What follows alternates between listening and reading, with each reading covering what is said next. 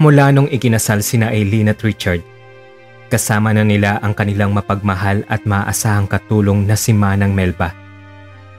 Inirekomenda ito ng office mate ni Aileen at nagtagal ang matanda sa kanila dahil sa galing nito sa trabaho. Sa katunayan, itinuturing na nila itong bahagi ng kanilang pamilya. Tuwing nasa trabaho sila, Si Manang Melba ang nagbabantay at nag-aalaga ng kanilang limang taong gulang na anak na si Vince. Pagka-uwi nila sa bahay, nakahanda na ang kanilang hapunan at ito pa mismo ang personal na nag-aasikaso sa kanila. Sa katunayan nga, para na nila itong ina. Ito rin kasi ang pumapagitna tuwing nag-aaway silang mag-asawa. Napaka maunawain ng matanda at alam nito ang tamang sasabihin upang kumalma sila at mapanatag ang loob. Pareho na kasi silang ulilang lubos, kaya naman masarap sa pakiramdam na may isa silang ina na handang umagapay sa kanila. Kaya naman mahal na mahal nila si Manang Melba at hanggat maaari gusto nila itong makasama habang buhay. Isang araw, habang kausap ni Eileen si Manang Melba sa kusina. Ikuwinento nito na dati raw itong manguhula sa probinsya nila. Medyo natawa pa nga si Eileen dahil akala niya'y nagbibiro lang ito. Pero nang hulaan ng matanda mga pinagdaanan niya sa trabaho, naniwala siyang may kakayanan nga ito sa panghuhula. Nahihirapan na kasi si Eileen sa terror niyang boss na walang ibang alam gawin kundi i-pressure siya. Kinuha pa nito ang credits ng mga output niya na para bang ito ang nagpakahirap na gawin ng mga yon. Dagdag pa nga ni Manang Melba, huwag daw siya mag-alala dahil hindi na magtatagal ang boss niya. Isang aksidente daw ang magtatapos ng buhay nito at mawawala na rin siya ng tinik sa lalamunan. Kinilabutan siya sa mga sinabi ng matanda pero mas kinilabutan pa siya nang magkatotoo nga ang hula nito. Nasangkot sa isang vehicular accident ang kanyang boss habang papunta ito sa trabaho at idiniklara na dead on arrival na ito sa ospital. Bagaman kinakabahan, mas lalo tuloy na curious si Eileen sa mga kakayanan ni Manang Melba. Muli siya nagpahula dito upang malaman kung tama ang kanyang hinala na may babaeng asawa niya.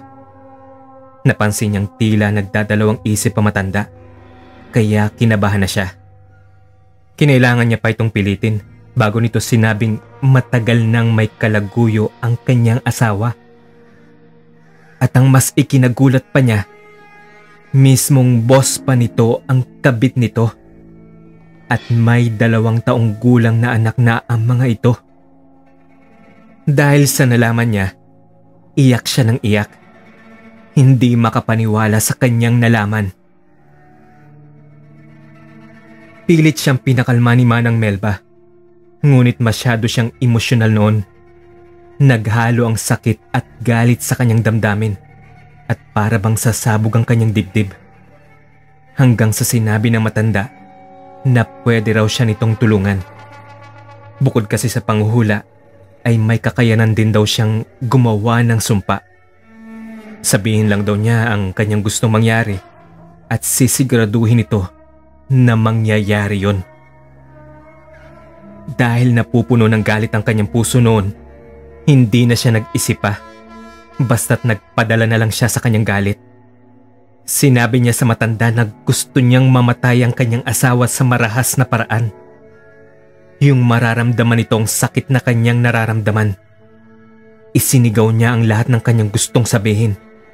Nagmura siya ng paulit-ulit.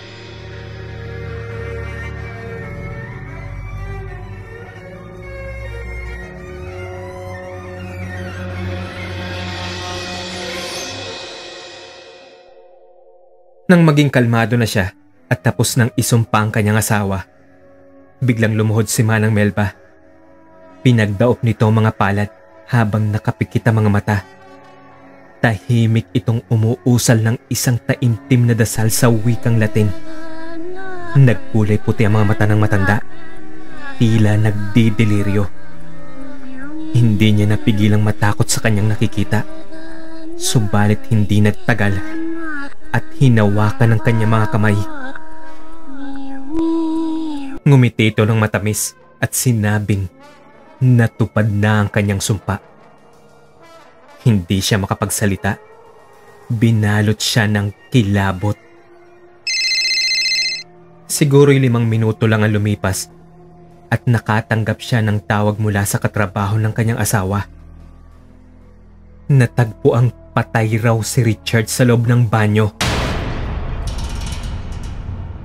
Nakadilat ang mga mata, lumuluha ng dugo at may mga insektong lumalabas sa bibig. Napasinghap si Eileen sa kanyang narinig, sabay tingin kay Manang Melba. Nakita niyang nasa kusina ng matanda Naghihiwa ng karning baboy habang umaawit ng kundiman. Naibagsak niya ang hawak na cellphone at lumapit dito. Paulit-ulit niyang tinanong kung ano ang ginawa nito. Pero hindi naman ito sumasagot. Pinilit niya itong magsalita. Pero natigilan siya nang biglang binilisan ng matanda ang pagtadtad sa karning baboy sa marahas na paraan. Pagkatapos nun, ay basta na lang nitong binitiwan ng kutsilyo at tumawa ng sobrang lakas. Naguguluhan na siya kung ano nangyayari. Hindi na niya kilala ang manang Melba na kanyang kaharap. Sinalubong nito ang mga mata niya patuloy siyang pinagtatawanan. Ang lingid sa kanyang kalaman, pinano ni Manang Melba ang lahat sa simula't simula pa lang. Hindi totoong may kabit ang kanyang asawa. Sinadya nitong magsinungaling upang magalit at isumpa si Richard. Naghihigante ang matanda. Ipinaghihiganti nito ang namayapang anak na si Lian. Si Lian ang unang nobya ni Richard. Ngunit naghiwalay ang dalawa dahil sa pangaakit ni Eileen. Magkaibigan sila ni Lian. Ngunit nang makilala niya si Richard, Nawala sa isip niya ang pagkakaibigan nila. Iyon kasi ang unang beses na nainlove siya ng ganong katindi. Inggit na inggit siya sa kanyang kaibigan. Kaya naman ang nagpakita ng interes sa kanya si Richard. Hindi na niya ito pinakawalan pa kahit ang kapalit ay ang pagkakaibigan nila ni Lian. Kaya sa huli, mas pinili siya ni Richard lalo pa nung nabuntis siya. Lumuhod at nagmakaawa si Lian sa kanya na iwan na niya ang nobyo nito. Pero nagmatigas siya. Dahil doon ay nabaon sa depresyon si Lian. Umuwi ito sa probinsya at nagmukmok. Hindi alam ni Manang Melba kung ano ang gagawin upang matulungan ang kanyang anak. Hanggang sa isang araw, natagpuan na lang niya itong walang buhay sa loob ng kwarto nito. Nagbigti ang kanyang kaisa-isang anak at halos ikamatay niya ang pangyayaring yun.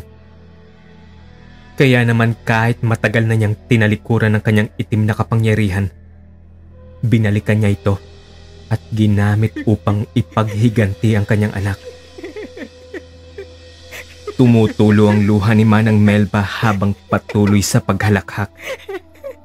Pinagmasdan niya ang nalilito at miserableng mukha ni Eileen at gamit ang kanyang kaalaman sa itim na orasyon, inutusan niya itong damputi ng kutsilyo. Bagay na ginawa naman ito. Tila nawala ito sa sarili. Itinaas nito sa ere ang patalim habang lumuluha at walang ano-ano'y isinaksak iyon sa dibdib niya. Duguan itong bumagsak sa sahig habang nakadilat ang mga mata. Huminga ng malalim si Manang Melba at nilapitan si Aileen. Ngumisi siya na tila isang halimaw. Pwede na niyang talikurang muli ang itim na kapangyarihan. Nagtagumpay na siya. Dahil sa pagkalipas ng maraming taon, na ipaghiganti na rin niya ang kanyang anak na si Lian.